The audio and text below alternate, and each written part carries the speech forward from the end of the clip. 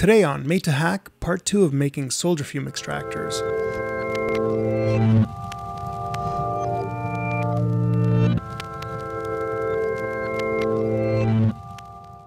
I begin by cutting 3mm thick PVC plastic sheets into the proper dimensions to make the box.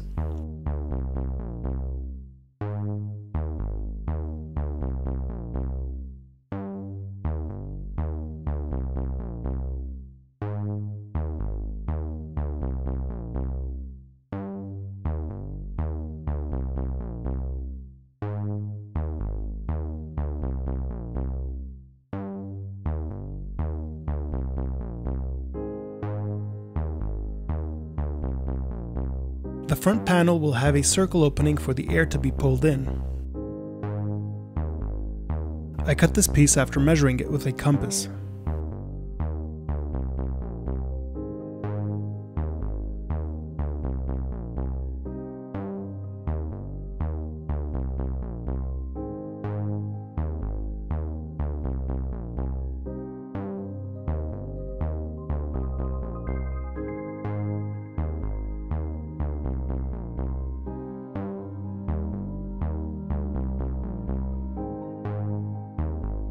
The back panel has an octagonal opening which will allow me to attach the fan to the back.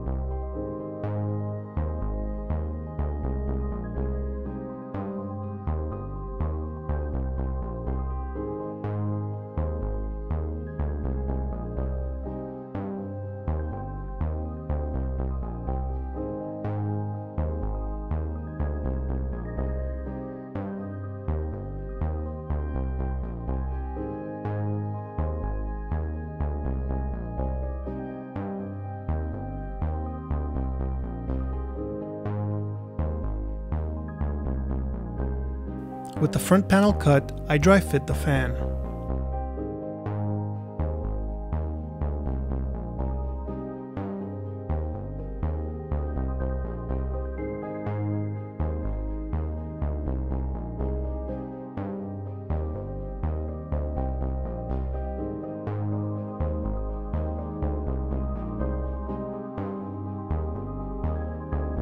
I then drill the holes for the fan on the back panel.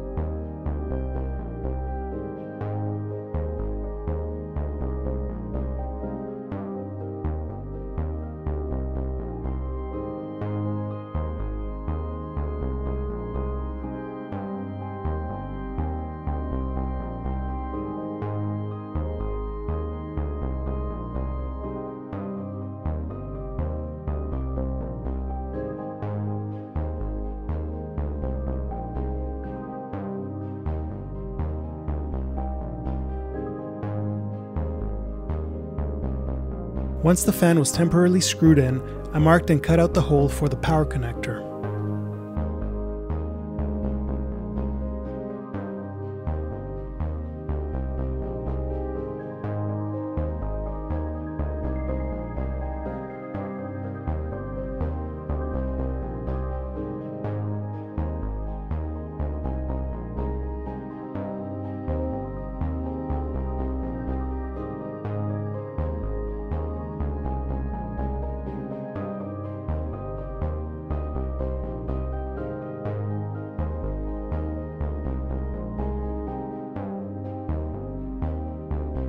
For this project, I used a potentiometer that has an integrated on-off switch.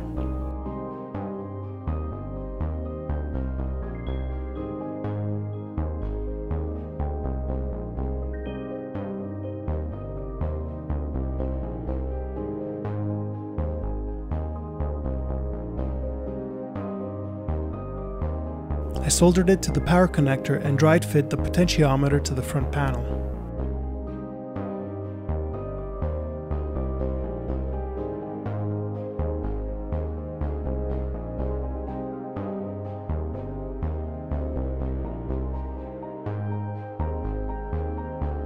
The sidewalls were then glued to the front panel.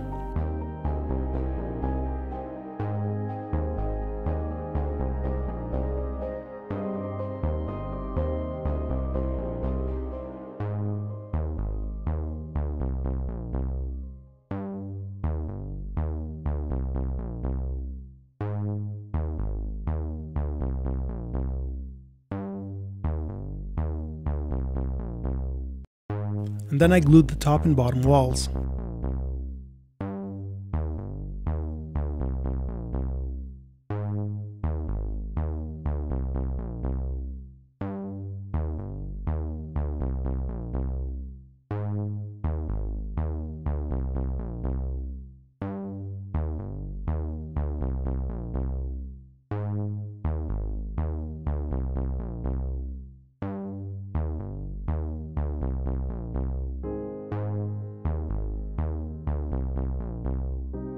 I drilled a hole for the potentiometer and the status LED on the front panel.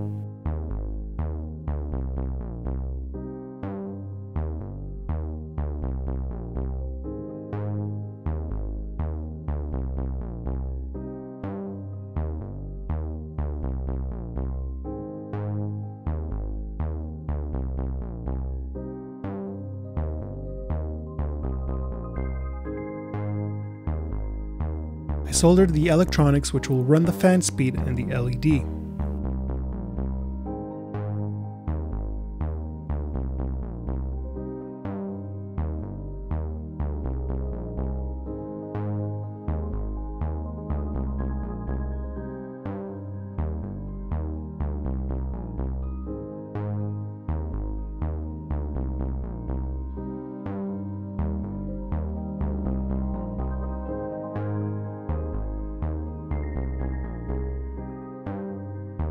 Afterwards, I drilled some holes on the back panel which will allow me to screw it to the front assembly.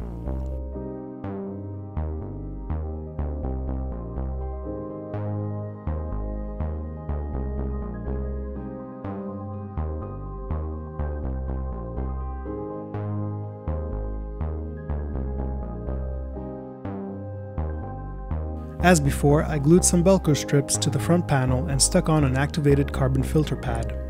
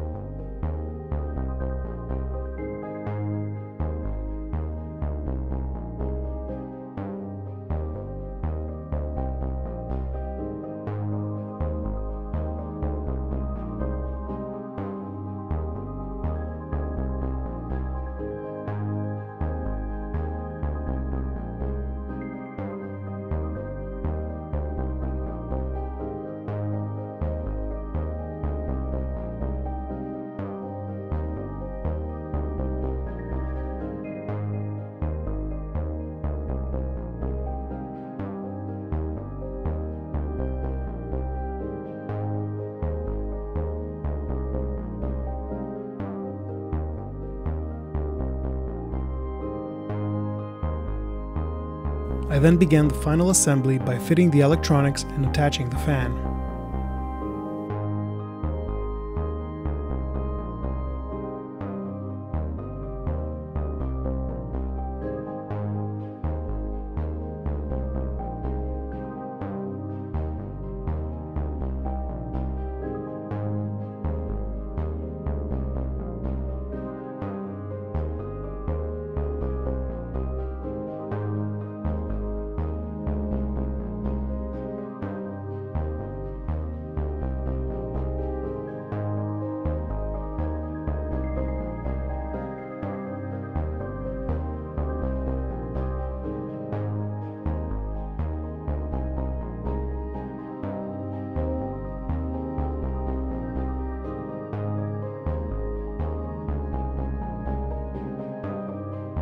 I used hot glue to stick everything in place.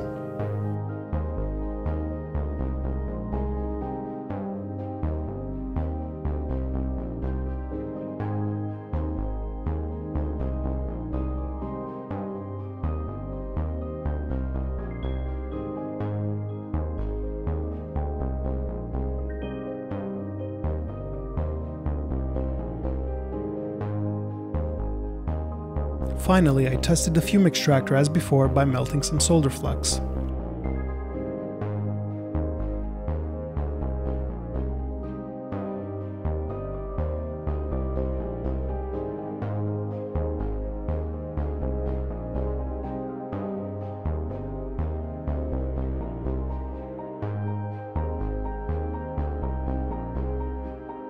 The unit works fine, however the simpler cardboard unit seems to be more powerful maybe because of the larger space between the fan and the filter.